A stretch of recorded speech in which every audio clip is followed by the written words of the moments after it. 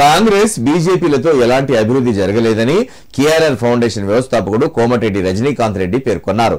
అభివృద్ధి అనేది కేవలం ముఖ్యమంత్రి కేసీఆర్ తోనే సాధ్యమన్నారు. సిద్దిపేట జిల్లా దుబ్బాకలోని ఓ ఫంక్షన్ హాల్లో నిర్వహించిన మీడియా సమావేశంలో ఆయన మాట్లాడారు.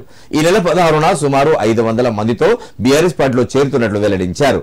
అభివృద్ధి అనేది బీఆర్ఎస్ తోనే సాధ్యమని దుబ్బాక గడ్డ మీద గులాబీ జెండా ఎగురవేసేందుకు తన వంతు కృషి చేస్తానని తెలిపారు.